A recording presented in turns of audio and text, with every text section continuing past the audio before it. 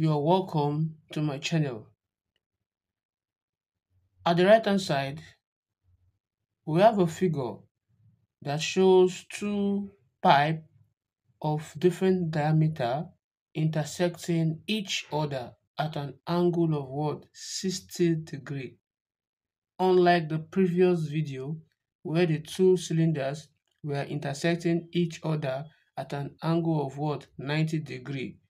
They were perpendicular to each other.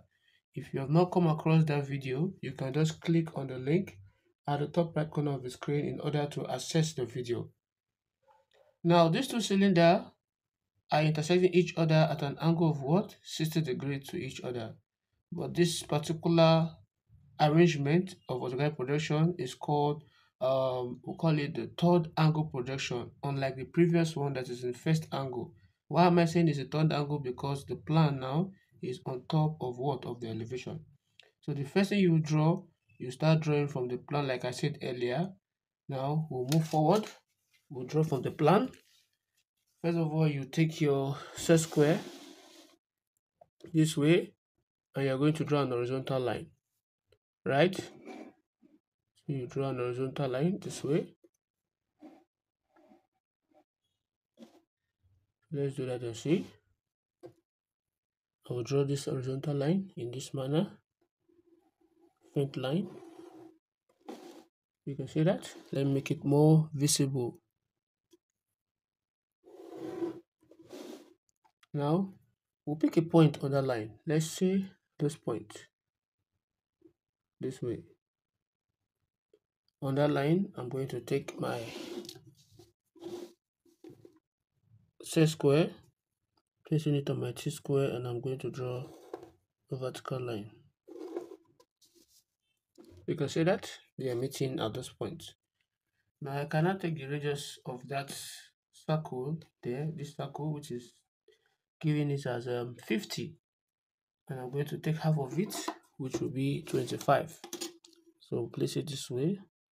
Now measure 25 from 0 to this point here is 25 and placing it at the center I'm going to draw a circle in this manner. I'm going to thicken it. Draw a circle in this manner. You can see that? Now doing that I'm going to draw a line that is close to it or if you look at the cylinder that is penetrating it we're not actually given the dimension of the cylinder penetrating it but we know that the dimension of this other cylinder here which is 40 millimeter diameter this particular one is the same as this one here. So the one at the elevation is the same as one in the plan right? So i'm going to measure diameter of what? 40 by taking the radius of what? 20 so when I take 20 from here to here is 20 right then I'm going to place it at the center here. I'll mark up and I'll mark down. So with the help of my t-square I'll extend this point from the circumference. Now if I trace it from here I won't draw it from here. Start from the circumference and I'll draw it out. I'll come here also. I'll start from the circumference, I'll draw it out with reference to this point. So I'll leave it there that way. Now the next thing I'm going to do, because I need to draw this circle that is here, it's not a circle, it's elliptical shape. And I cannot just draw it that way, so I'll leave it first. Then I'll go back to the elevation. So going back to the elevation, I have to project the two endpoints of the cylinder of this here project it downward and I'll project this also downward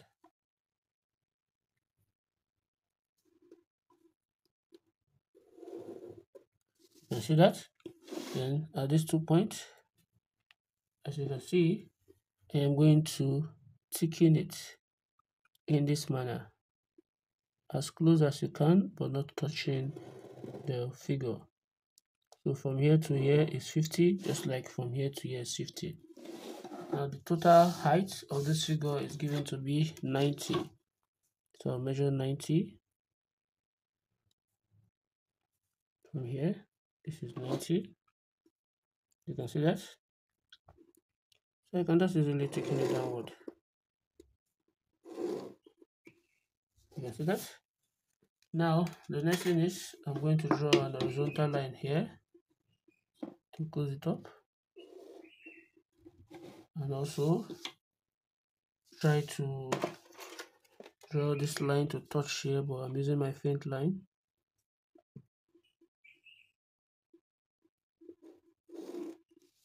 now if you look at the diagram very well you'll discover that for me to draw my cylinder penetrating the at an angle of 60 degree we are given a height. The height of what? The height of 35 from the base. Just like from here to here is what? Is 35 so i'm going to measure from the base point here 0 to 35 you can see that? 335 so from that point i'm going to measure my angle of 60 degrees. So what i'm going to do is i'm going to when you stay in this particular way naturally this is 30 degree. Is that okay now?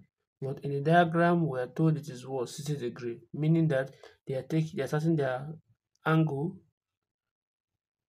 from here starting from vertical line so it's from zero at the vertical axis towards the horizontal axis. So they are going um clockwise. So zero the next line is what? Is 90 is that taking instead of the normal way that we're going backward anti-clockwise from 0 90 180 but now they're taking their zero degree to be the vertical line.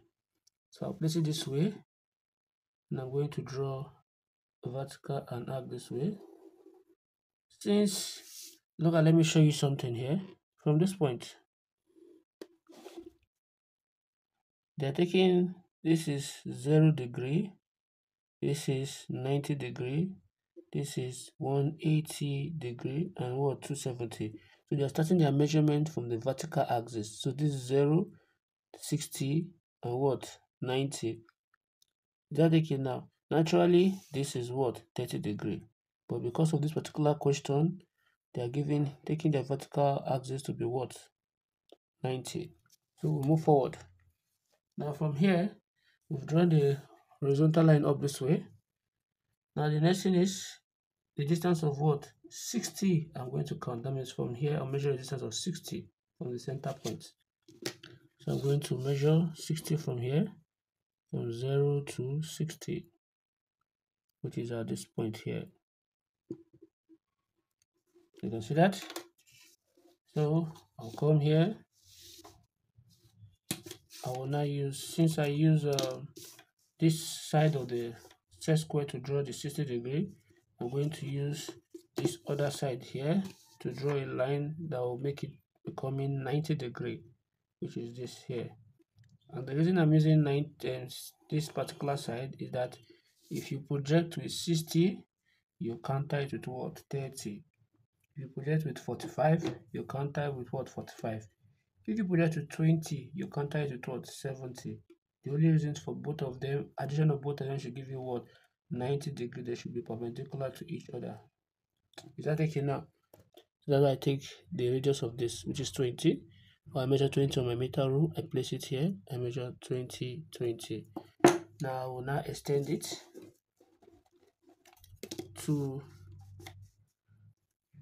from this point I extend it down to touch this point. I'll taking it. Then from this point I'll extend it down to touch this point. I'll taking it. Then from here I'll do this. From here I'll do this just to cover everything up and from here I'll do this and I'll close it up too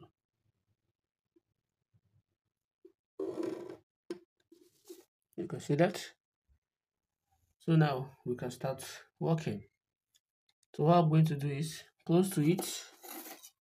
I'm going to draw a semicircle. So draw a vertical line here first, parallel to that axis this way.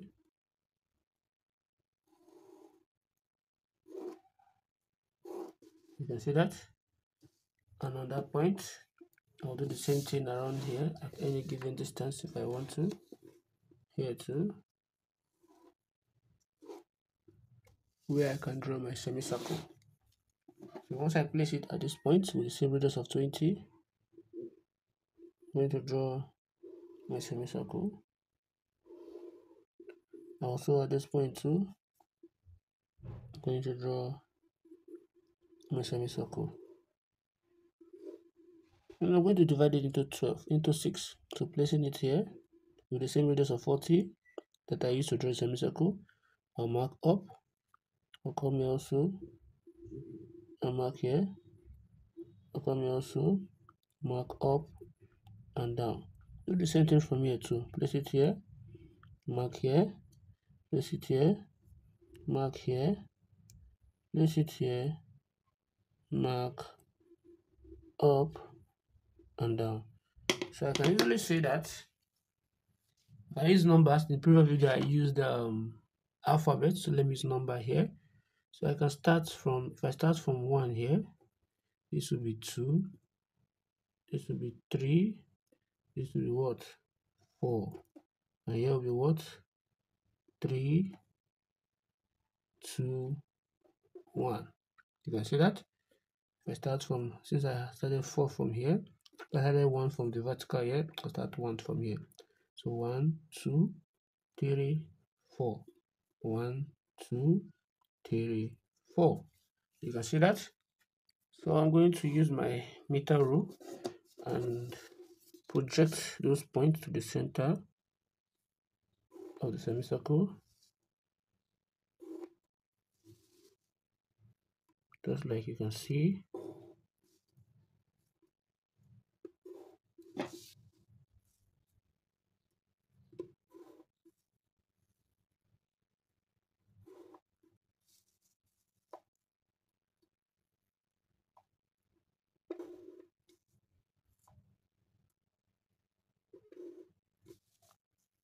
See that? Now we'll start. All these points are projected to touch the circumference of the circle just like in the previous video. I'll project them with the help of my t-square. Project it to touch here. Project it to touch here. Project it to touch here. And also here. You can see that? Now if I've done that, I'll also project all these points. So what I'll do is, this is 3, I'll project 3 downward, right? So this is the line of 3. You can see that? So I'll use this point to project 3 downward. And also I'll use still the same thing to project 3. The most important thing is that your line must be parallel to each other. So in those three points, if you realize they're on the same point, 3 and 3, I can easily use my rule. Since it's two points, I can easily draw a straight line. You can see that. I easily draw a straight line from here, or I can use my set square this way. You can see that. So if I draw a line from here, downward, cover that is touching this point, which will be my point 3 and also this point which also be my point 3 you can see that? Now the next one is let's go to 4 now this is 4 here right? And this is a line of this is point 4 and point 4 you can easily project it down. This way. And the same point.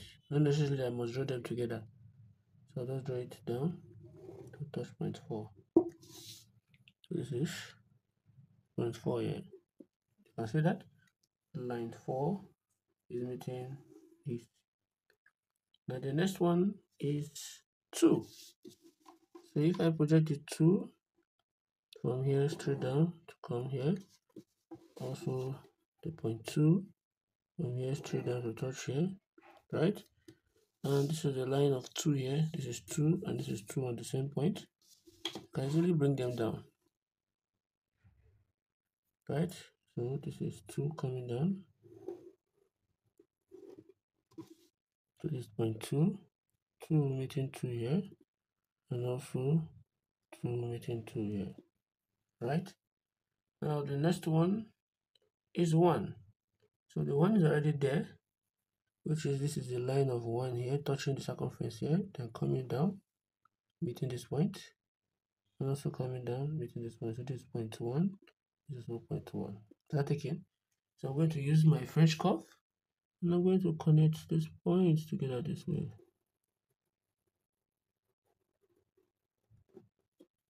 Can see that? That is the curve of intersection of that part. But this is not over yet. Since this cylinder is intersecting at an angle of what? 60 degree right?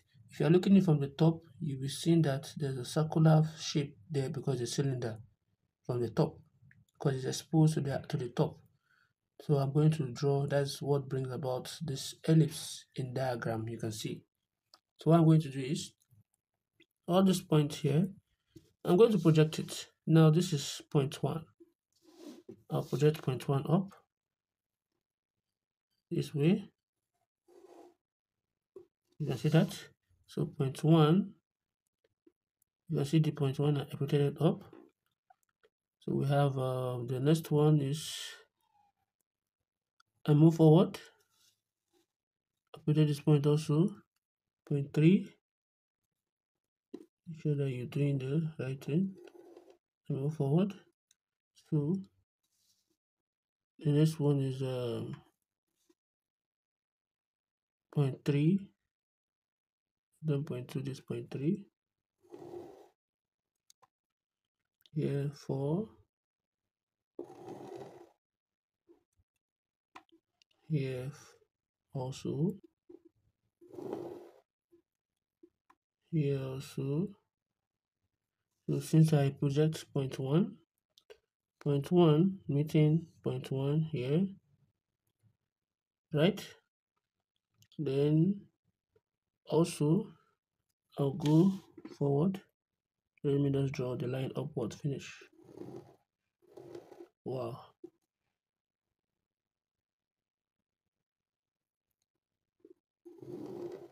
Here's what you should avoid.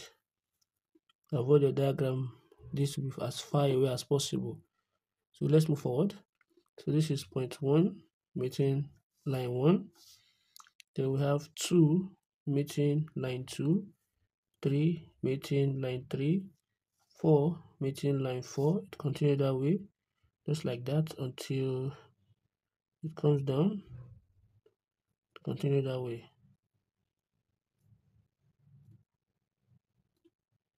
You can see that?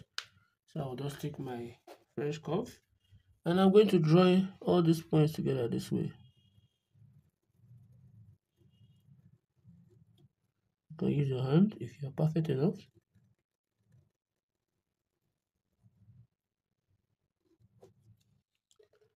I see that. So you draw this. And this is what we are going to be having. I'm taking this. And also taking this right? So where 1 meets 1, where 2 meets 2, where 3 meets 3, then this is 4. This is another 2, this is another 3, this is another 4. This is also point 3, this is also what? Point 2, point 1, point 2 again, then point 3 back to 4. So those points. So you don't have to start writing all this lettering. I'm only doing this to enhance your what your understanding is that taken so if you have um, found this video helpful please don't forget to like share and subscribe thanks for watching